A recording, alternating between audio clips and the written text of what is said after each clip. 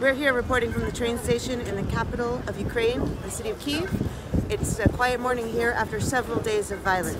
We understand that Russia and Ukrainian officials will be speaking today, and in the meantime, many families are using this this brief time of quietness to try to get out. In the streets, we saw people coming and going with their suitcases, and as you can see here, there's many people the train station with suitcases attempting to get out. We understand that the borders of many countries um, are crowded with hours or days waits to get across the border to another country. That's not stopping people here because there is a fear that there will be uh, further strikes on the city, more war coming in the next few days. So whoever can get out is trying to.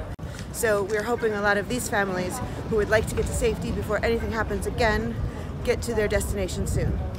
Heather Murdock, VOA News, Kiev, Ukraine.